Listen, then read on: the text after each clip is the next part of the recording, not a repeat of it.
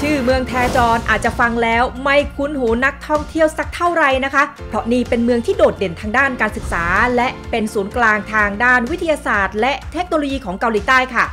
ยังได้รับการยกย่องว่าเป็นเมืองแห่งอนาคต และเป็นศูนย์กลางวิทยาศาสตร์ชั้นสูงของประเทศอีกด้วยนะคะ ถ้าใครที่ชอบเรียนรู้โลกกว้าง ผ่านการท่องเที่ยวมาแล้ว มาที่นี่รับรองว่าไม่ผิดหวังแน่นอนค่ะ นั่งรถไฟออกจากกรุงโซมาแค่ชั่วโมงเศษๆเท่านั้นเองนะคะ ถ้าโชคดีมาตรงกับช่วงเทศกาลวิทยาศาสตร์แทจอนด้วยแล้วแล้วก็ รับรองว่าตื่นตาตื่นใจจนต้องร้องว้าวไปกับความก้าวหน้า ทางด้านวิทยาศาสตร์เทคโนโลยีของเกาหลีใต้อย่างแน่นอนค่ะถ้าเด็กๆที่ชื่นชอบทางด้านวิทยาศาสตร์ และเทคโนโลยีได้มาเห็นที่เมืองแทจอนก็ต้องอยากมาเรียนที่นี่แน่ ๆ เลยค่ะ เพราะนอกจากจะมีสถาบันการศึกษาชื่อดังแล้ว ก็ยังมีสถานที่ท่องเที่ยวอีกมาก แถมอาหารการกินก็อร่อยอีกต่างหาก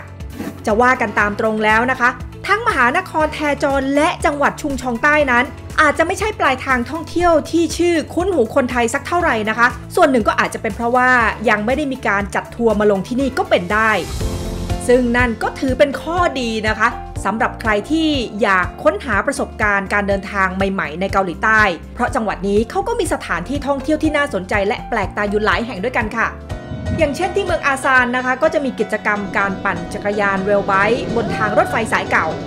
มีถนนอุโมงค์ต้นแปะกล้วย ซึ่งก็ยาวกว่า 1.5 กิโลเมตรเลยนะคะ ก็ต้องบอกว่าสวยที่สุดในฤดูใบไม้ร่วง นอกจากนั้นก็ยังสามารถไปเที่ยวชมหมู่บ้านพื้นเมืองเวอัม เพื่อสัมผัสวิถีบ้านๆแบบเกาหลี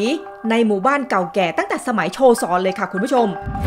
อีกเมืองท่องเที่ยวที่น่าสนใจก็คือแทอันค่ะเพราะที่นี่ขึ้นชื่อเรื่องของอุทยานแห่งชาติทางทะเล ที่นักท่องเที่ยวสามารถเดินชมเดินชิลกันได้ทั้งวันเลยล่ะค่ะ ดังจินก็เป็นอีกหนึ่งเมืองชายฝั่งทะเลนะคะ ที่มีอาหารทะเลอร่อย รสชาติจัดจ้าน ถูกลิ้นคนไทยอย่างแน่นอนค่ะ ส่วนที่เมืองพรยองนั้นก็จะขึ้นชื่อเรื่องของเทศกาลโคลนค่ะ ซึ่งปกติก็จะจัดขึ้นในช่วงหน้าร้อนของทุกปีที่หาดแทชอน ถ้าเป็นช่วงที่ยังไม่มีการแพร่ระบาดของโควิด แล้วก็นี่คือหนึ่งในเทศกาลที่ดึงดูดนักท่องเที่ยวจำนวนมหาศาลเลยค่ะ ทั้งจากในและนอกประเทศ งานนี้ต่อให้ใครกลัวเปื้อนนะคะ แต่ถ้าได้มาเห็นภาพแบบนี้ละค่ะคุณผู้ชม เชื่อว่าคงต้องขอลองสักครั้งหนึ่งในชีวิตอย่างแน่นอน